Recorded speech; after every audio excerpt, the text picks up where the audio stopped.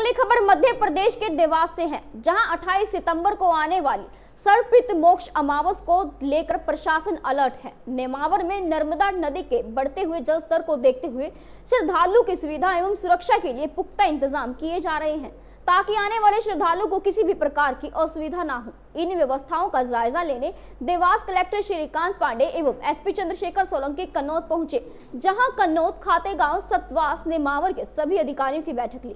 और नेमावर में की गई तैयारियों की जानकारी ली। साथ ही बढ़े हुए जल स्तर को देखते हुए पुलिस महकमे को चौकन्ना रहने की हिदायत दी गई और अब तक की की गई तैयारियों का जायजा लिया गया। एसपी ने बताया कि आने वाले श्रद्धालुओं को किसी भी प्रकार की असुविधा ना हो।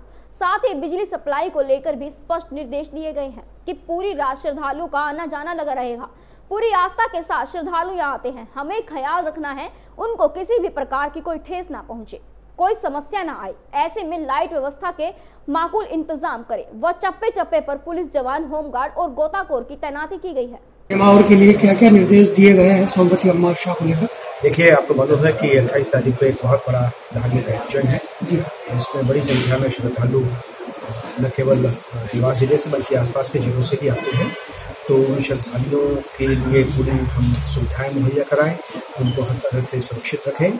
उसके लिए मैंने और एसपी साहब ने समस्त पुलिस अधिकारियों से और जिला प्रशासन के अधिकारियों से विस्तार से चर्चा की है और उनके दायित्व उन्हें बताए हैं उनकी जिम्मेदारियाँ उन्हें बताई हैं और अभी तक क्या तैयारियाँ हुई हैं उसकी समीक्षा की जी सर।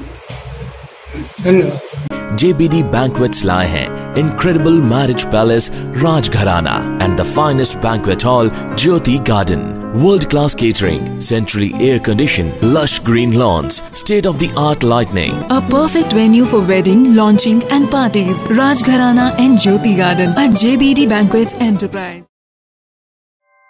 ऐसे ही लेटेस्ट खबरें पाने के लिए बेल आइकन को क्लिक कर हमारे चैनल को लाइक शेयर एंड सब्सक्राइब करें धन्यवाद